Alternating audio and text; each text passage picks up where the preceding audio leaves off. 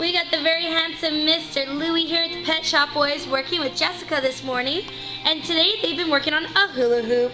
So given the cue, Louie's gonna hop through this hula hoop. Louie.